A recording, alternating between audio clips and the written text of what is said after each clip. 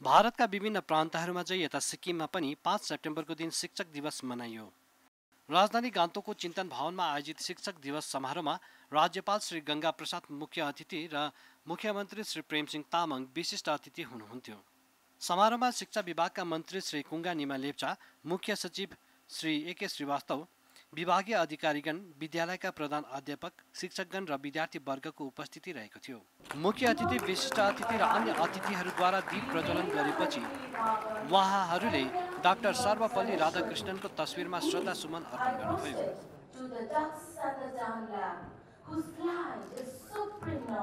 यस अवसरमा तेह्रजना शिक्षक शिक्षिकाहरूलाई प्रशस्ति पत्र साथै छजना शिक्षक शिक्षिकाहरूलाई राज्य पुरस्कार पनि प्रदान गरियो। यसै गरी गत वर्ष राष्ट्रिय पुरस्कारद्वारा पुरस्कृत हुने शिक्षकहरूलाई पनि सम्मान जनाइएको थियो।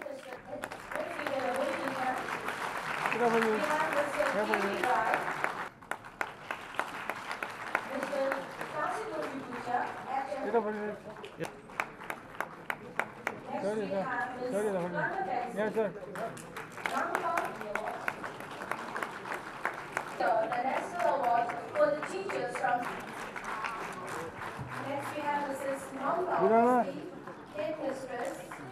यस्तै प्रकारले उत्कृष्ट प्रदर्शन गर्ने विद्यालयहरू र सिबिएसई बोर्ड परीक्षामा उत्कृष्ट अङ्क ल्याउने दशौँ र बाह्रौँ श्रेणीका विद्यार्थीहरूलाई पनि नगद पुरस्कार प्रदान गरियो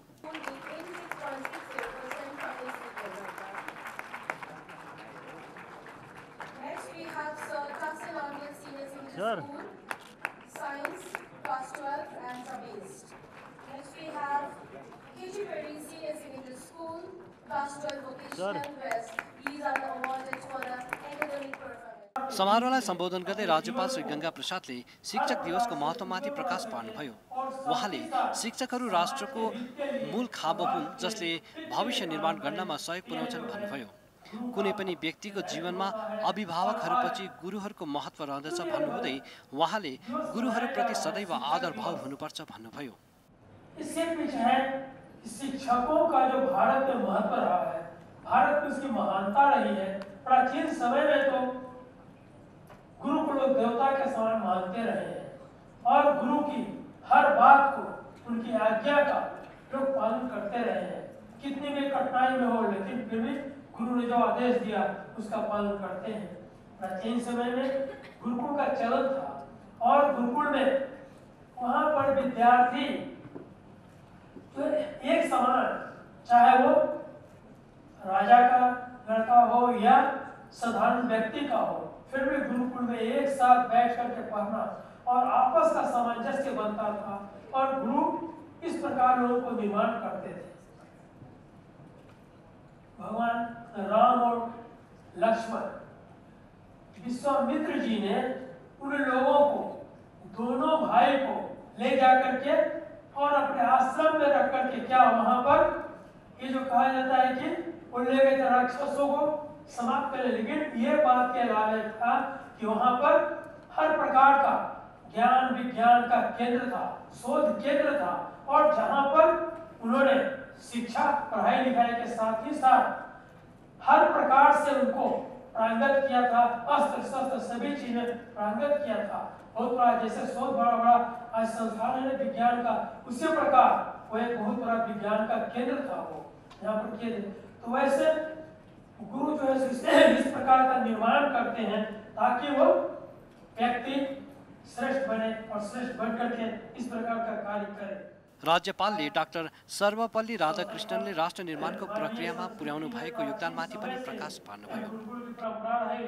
की यसरी नै मुख्यमन्त्री श्री प्रेमसिंह तामाङले शिक्षण, व्यवसाय सदैव सम्मानजनक व्यवसाय हो भनी बताउनुहुँदै उहाँको सरकारले शिक्षकहरूको समस्या र गुनासोहरूलाई निवारण गर्ने दिशामा कार्य गरिरहेको बताउनुभयो। उहाँले अधिक उमेर भएका शिक्षकहरूलाई सुदूरवर्ती क्षेत्रहरूमा स्थानान्तरण नगरिने यद्यपि नवनियुक्त ऊर्जावान र उत्साहित शिक्षकहरूलाई भने प्रथम तीन वर्षका लागि उनीहरूको घरदेखि टाढाका स्कुलहरूमा पठाइने बताउनुभयो। उहाँले शिक्षा आफ्नो सरकारको प्राथमिकता रहेको बताउनु हुँदै एमपी ल्याटको कोष र सीमा क्षेत्र विकास परियोजनाको कोषलाई पनि शिक्षासित सम्बन्धित क्षेत्रको विकासमा खर्च गरिने बताउनुभयो। श्री तामाङले राज्य प्राथमिक शिक्षा बोर्ड स्थापना गरी पाँचौँ र आठौँ श्रेणीका निम्ति पनि बोर्ड इक्जाम गर्ने सुझाव राख्नुभयो। यसो हुँदा विद्यार्थीहरू एक्काइसौँ शताब्दीको चुनौतीहरूको सामना गर्न सक्षम हुनेछन् भन्नुभयो। हामीले टिचर्सको भ्यालु बुझ्यौँ शिक्षक शिक्षिकाको शिक्षक शिक्षिकाको महत्त्वलाई हामी उहाँको मानसम्म अगाडि बढाउँ। र समाजमा हामीले टिचर्सलाई हामीले यस्तो दियौँ कि टिचर्स गर्नमा गर्व होस्। आज हेर्नुहोस् आज टिचर भनेपछि कसरी पनि गर्न चाहिँ झन् पहिला पहिला हाम्रो समयमा हामी विद्यार्थी हुँदाखेरि त टिचरमा जाने भन्दाखेरि नजाने। के गर्ने? भन्दाखेरि सबैजना इन्जिनियर गर्ने ठुलो पदमा जाने एसिएफमा जाने डिओमै जाने जेमा पनि जाने तर टिचर टिचर भनेको चाहिँ अन्तिम तपाईँको पढाउ थियो क्या? अन्तिम केही पाएन भने ल ठिकै छ म टिचर भए पनि गर्ने। भन्ने थियो। है?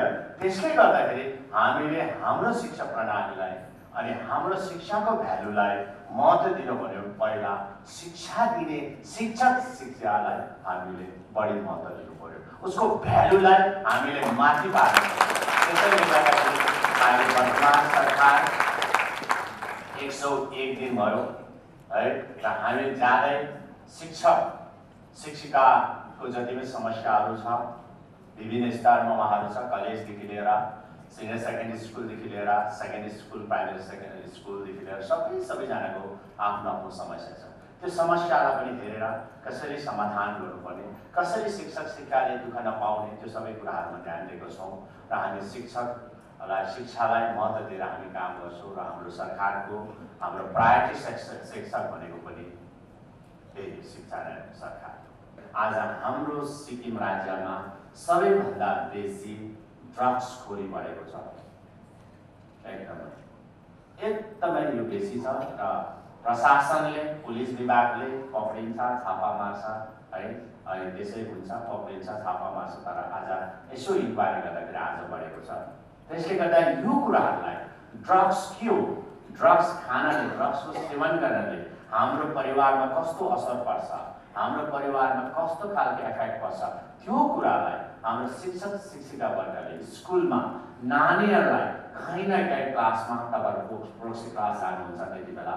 अझै टिचरहरू एब्सेन्ट हुँदाखेरि त्यति बेला तपाईँ प्रोक्सी क्लासमा तपाईँले बताइदिनुहोस्। ताकि उहाँहरू गाउँमा गएर त्यो कुराहरू उहाँले गाउँमा उहाँले प्रचार प्रसार गरोस्।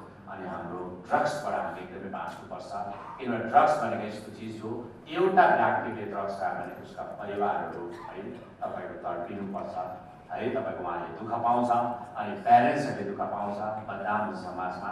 र हामी जति सक्दो कोसिसमा छौँ र यसपालि हामीले बजेटमा पनि हामीले अङ्कित गरेका छौँ कि जुनै पनि कुनै पनि एनजिओसले यो ज यो ड्रग्सको विषयमा जसले पनि एवारनेस क्याम्पहरू गर्छ जो पनि अगाडि आएर काम गर्छ लागि आर्थिक सहयोग दिनको लागि हामी तयार छौँ र हामी सबैजना मिलेर यो एकजनाले गर्दा यो पुलिस विभागले मात्रै गर्दाखेरि यो सरकारले मात्रै लागि पर्दाखेरि यो कन्ट्रोल छैन र म त भन्दैछु म यो विशेष विशेष गरेर जहाँ जहाँ जुन जुन ठाउँमा अलिकति बेसी यो डग्सको है मतलब चलखेल छ जस्तै है दुई चारवटा जग्गाहरू छ त्यो जग्गाको म पुलिस अफिसरसँग बसेर कुरा गर्छु लु पक्रेर ल्याउनेलाई सम्झाउ जसले ड्रग्सको व्यापार गर्दैछ जसले ल्याएर यहाँनिर है कसैलाई व्यापार मार्फत उहाँले आफ्नो बिजनेस चलाउँछ भन के को दुःख छ तिमीलाई तिमीलाई के गर्ने हो यदि तिमीले यो काम गर्छौ भने सरकार तिमीलाई कुनै पनि बिजनेसको लागि कुनै पनि व्यापारको लागि कुनै पनि कामको लागि सहयोग गर्नको लागि तयार छ। तर यो काम चाहिँ छोडिदियो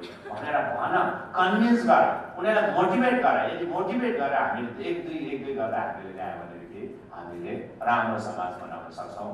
समारोहलाई सम्बोधन गर्दै मुख्य सचिव श्री ए के श्रीवास्तवले शिक्षण पेसा अति नै सम्भ्रान्त पेसा भनी बताउँदै हामीले प्रौद्योगिकीको विकास बीच सामाजिक मूल्यहरूलाई भुल्नु हुँदैन भन्नुभयो। साथै उहाँले विद्यालयहरूमा नैतिक शिक्षा पनि दिनुपर्ने आवश्यकतामाथि जोड दिनुभयो।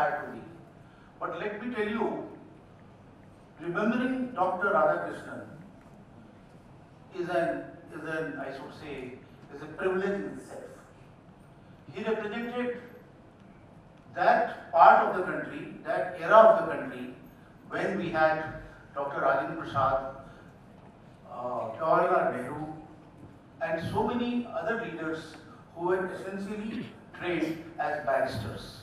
Dr. Kalam, Dr. Abdul Kalam Azad, and whatnot. And they have all contributed their bit to the nation-making process. So we are basically, as my colleague Mr. Sherpa has indicated to you, we are celebrating the birthday of Dr. Sarvapalli Radhakrishnan, the second President of India, who was also the first Vice President of India.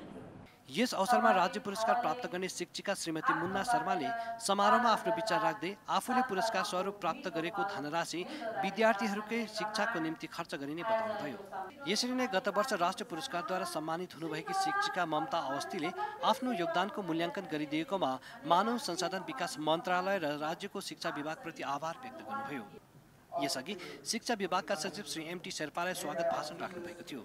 यसरी नै समारोहमा बोझखारी उच्चतर माध्यमिक विद्यालयले स्वागत गान प्रस्तुत गरेका थिए भने बृहस्पति पर्साई उच्चतर माध्यमिक विद्यालय मिडल क्याम्प विद्यालयका शिक्षकहरू र जिल्ला शैक्षिक संस्थानका प्रशिक्षणार्थीहरूले गीत प्रस्तुत गरेका थिए।